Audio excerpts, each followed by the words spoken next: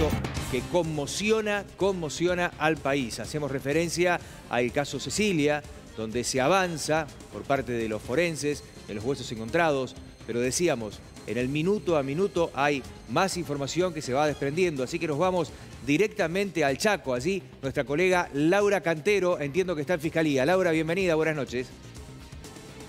Hola, ¿qué tal? ¿Cómo están? Buenas noches. Bien, ¿cuál es la realidad a esta hora que ustedes pueden contar y relatar directamente desde allí?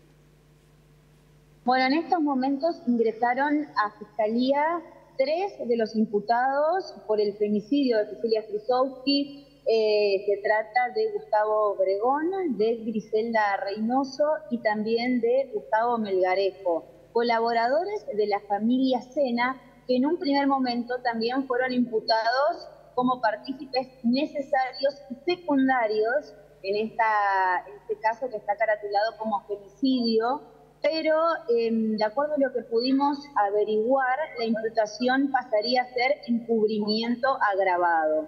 Y esto se desprende de las investigaciones y también del hecho de que a mañana vence el plazo para que el equipo fiscal dicte la prisión preventiva. Así que son momentos decisivos y claves para esta investigación, eh, la, imputación para los cuatro colaboradores de la familia Sena pasaría a ser encubrimiento agravado, pero el equipo fiscal mantiene que tanto César Sena como Emerenciano y Marcela Cuña, los tres fueron responsables del crimen de Cecilia y bueno, la familia Sena llegaría mañana aquí a Fiscalía eh, tienen la oportunidad también de declarar si así lo solicitan y si no, se les leerá su nueva imputación. Así que, por lo tanto, a pesar de que todavía falta cotejar eh, el ADN para la Fiscalía, ya estamos hablando de un caso de homicidio, este, claramente con tres imputados de manera directa, la, la madre, el padre y el hijo.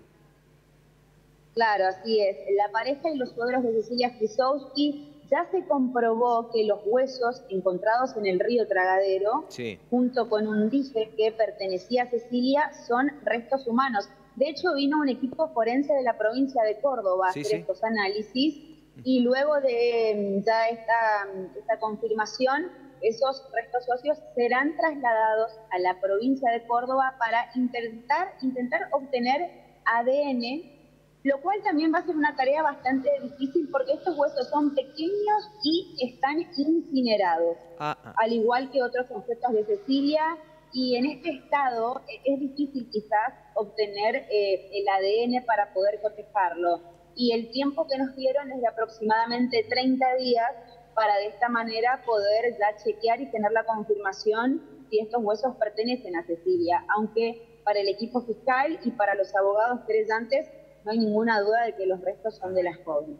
Bien, eh, Laura, acá claramente no ha habido nunca pacto de silencio, pero sí uno puede entrever, interpretar un pacto de embarrar la investigación, porque las declaraciones son, son varias por prácticamente casi todos los imputados que han hecho referencia, los imputados directos y secundarios, a diferentes situaciones que entrelazan, pero este, obviamente que se chocan en el relato. Sí, son, distintas las imputaciones. Bueno, de hecho, em, Marcela Cuña dice que vio un bulto que ella eh, presumió que podía ser un cuerpo, tal su declaración. Fabiana González, colaboradora de la familia Sena, dio la misma declaración. Emerenciano Sena básicamente no dijo no estar en este lugar y quien no declaró todavía es el principal señalado en este femicidio que es César Sena. Más allá de un contacto que tuvo con un sacerdote donde eh, básicamente responsabilizó a su madre, indirectamente dijo que nunca, no sabía si iba a poder perdonar a la madre y que se le fue la mano. Palabras textuales de él. Eh, pero de todas maneras, él no dio una declaración formal ante Fiscalía. Lo determinante fue la declaración de Gustavo Obregón, que señaló el lugar donde fueron hallados estos restos socios y él dice que pertenecía a Cecilia. De todas maneras, es difícil encontrar una única versión cuando son siete las personas detenidas, pero considera el equipo fiscal que prácticamente, ya no hay duda que en el horario del mediodía, cuando los tres miembros de la familia Sena estaban en el domicilio, fue el momento que asesinaron a Cecilia. Bien, con respecto al colchón con las manchas de sangre, un colchón que en principio lo reganaron horas después del, del homicidio, por allí también puede llegar a cotejarse quizás un ADN. Sí, ya el día de hoy ya se confirmó que es sangre humana.